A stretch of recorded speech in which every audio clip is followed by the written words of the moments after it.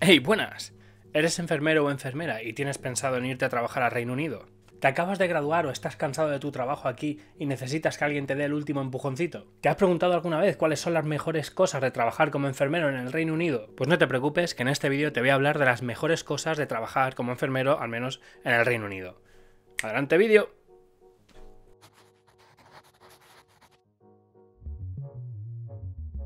Como todo en esta vida, trabajar en Reino Unido tiene cosas buenas y cosas malas. En este vídeo hablaré de las cosas buenas, para las cosas malas ya haré otro vídeo bastante extendido, así que si no lo queréis perder, suscribiros y así os saldrá automáticamente cuando lo suba. Reino Unido es uno de los países más potentes en Europa, y por mucho que quieran irse de Europa, así es. Y por lo general es bastante fácil encontrar un empleo. Personalmente solo tengo experiencia en el sector sanitario, pero creo que Reino Unido no es un país donde haya mucha economía sumergida, o donde hayan contratos chungos, o donde se suele pagar en B, ni a los empleados ni a los trabajos que tú contrates. Además, el tema de autónomos es muy diferente a España. Aquí los autónomos no tienen que pagar una tasa mensual y solo, y solo pagan impuestos en función de lo que generan. Por tanto, es fácil montar empresas y desmontarlas así como contratar empleados. En el caso de la enfermería, los contratos son bastante estándar. Normalmente te contratan por 37 horas y media, lo que vienen a ser 3 días a la semana de 12 horas y media. En cuestión salarial, los empleados públicos cobran un salario público que está regido por unas bandas, a excepción de los doctores. Los doctores van por otro lado. Y no me preguntéis porque exactamente no sé cómo cobra un doctor, ni si está en banda. Si acaso en algún momento puedo preguntarle a un doctor, o puedo hacerle una mini entrevista y lo, podemos publicar aquí, a lo mejor.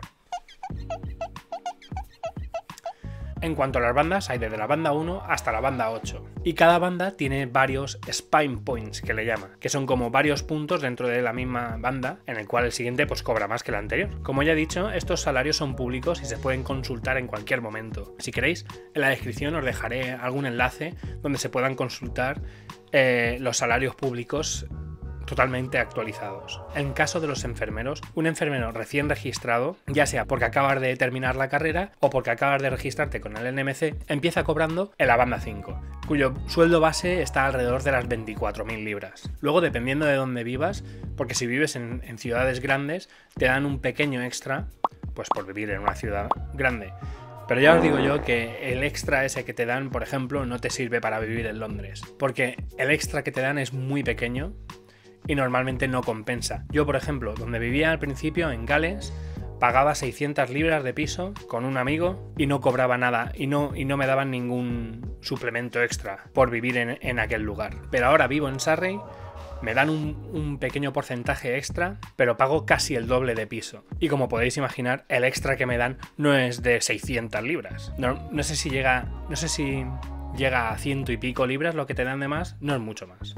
Bueno, estos son los enfermeros, pero los auxiliares, los auxiliares normalmente son banda 3 y su sueldo está en torno a las 18.000 libras y ese será tu sueldo si has sido contratado como enfermero, pero tu PIN del NMC todavía está en proceso. Bueno, hasta ahora he hablado un poco en general de las cosas buenas de trabajar en Reino Unido, pero a continuación te diré lo que para mí en concreto de trabajar de enfermero es lo mejor. Una de las cosas de trabajar de enfermero en Reino Unido es que, a excepción de ciertos servicios, como por ejemplo trabajar en la comunidad para un médico de cabecera, o en un servicio que abra de lunes a viernes, si trabajas en una planta de hospital, normalmente solo trabajas tres días a la semana, lo cual te deja cuatro días libres a la semana. Además, hay mucha flexibilidad para que puedas cambiar días con tus compañeros, con lo que puedes juntar los cuatro días de una semana con los cuatro días de otra semana y hacerte una semana libre por la cara. Otra de las cosas buenas es que básicamente puedes trabajar donde quieras. ¿Estás interesado en alguna ciudad en concreto? No importa, simplemente busca trabajo en el hospital local y seguro, seguro que necesitan a alguien. Quizás no encuentres en la especialidad que tú quieras o en la planta que tú quieras, pero gente para trabajar siempre necesitan en todos lados. Y más si hablamos de enfermeros. Es impresionante comparado con España la cantidad ridícula de oferta laboral que hay. Es el mundo al revés.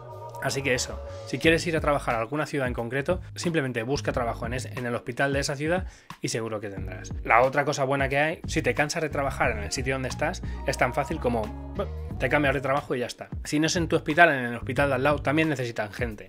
así que en cualquier momento puedes ir a trabajar a otro sitio. Otra cosa que yo considero buena al menos es que la mayor parte del de staff que trabajamos para el NHS somos inmigrantes. Así que trabajar para un hospital británico te da un contacto con otras culturas que de otra manera no podrías conseguir. En mi hospital en concreto hay muchísimos filipinos, hay muchísimos nepalíes, hay muchísimos portugueses también. Ah, y españoles. Españoles hay en todos lados en Reino Unido. Yo tengo la sensación de que los enfermeros españoles estamos muy bien valorados en Reino Unido. Los británicos por lo general reconocen los estudios de países como España o Portugal como más intensivos, porque realmente lo son. Así que esto nos da un voto de confianza. Trabajar de enfermero o en general trabajar para un hospital en Reino Unido te da derecho a, te da derecho a poder tener algunos benefits, que es como ellos lo llaman. Normalmente todos los hospitales tienen afiliaciones con marcas y con tiendas locales en las cuales te hacen descuento por trabajar en ese, hospital lo cual es cojonudo. En mi hospital en concreto tiene, por ejemplo, una oferta con una compañía de alquiler de coches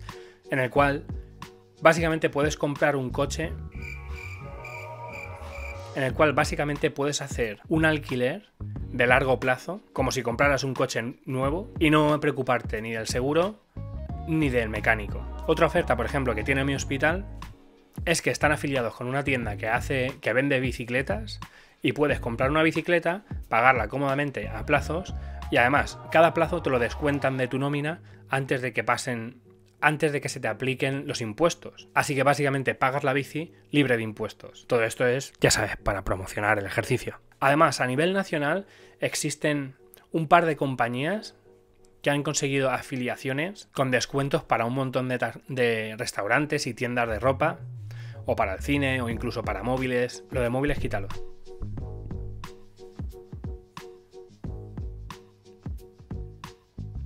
La verdad es que no está nada mal. Otra cosa que me parece bastante bueno de trabajar en Reino Unido es que la progresión profesional es muy fácil. Quiero decir, es bastante fácil ascender como enfermero en los hospitales ingleses. Si tienes paciencia y si trabajas bien, al final este, al final este esfuerzo normalmente es reconocido. Como dije antes, si sientes que no es reconocido o si no estás a gusto, si no crees que te están apoyando, muy, es tan fácil como irte a otro sitio Así de rápido. Yo, al cabo de dos años de trabajar en urgencias, me propusieron hacer un curso de posgrado, que es como una especie de especialización en urgencias, el cual cubrió el hospital por completo, y hoy en día, tras tres años de trabajar en urgencias, me han ascendido a banda 6. Y si quisiera seguir eh, progresando, solo tendría que estar atento a qué cursos necesitaría para seguir avanzando, o simplemente involucrarme todo lo que pueda con el departamento. Al final, los ascensos es cuestión de tiempo. Otra cosa que me parece muy interesante de los hospitales en Reino Unido es que normalmente el ratio de pacientes enfermos es de 5 a 7 pacientes, por lo menos en el departamento donde yo trabajo. Otra cosa interesante también es el nivel de especialización profesional que hay. Explico. La estructura de los hospitales en Reino Unido está dividida en equipos. Los equipos más importantes son el Medical Team y el Surgical Team.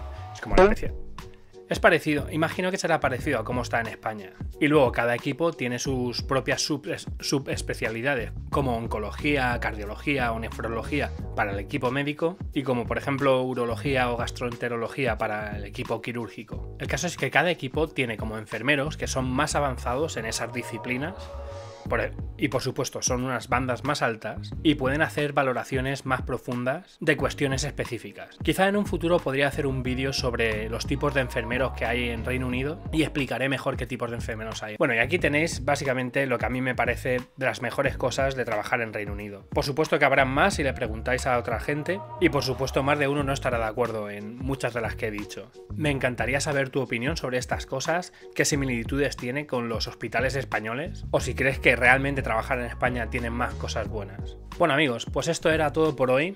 Muchas gracias por ver el vídeo. Si te ha gustado, por favor, dale a like. Comparte este vídeo si crees que podría ayudarle a alguien. Y si te gusta mi contenido, pues suscríbete y así no te perderás ninguno de mis futuros vídeos. Sin más, paso a despedirme. Nos vemos en un futuro vídeo. ¡Chao!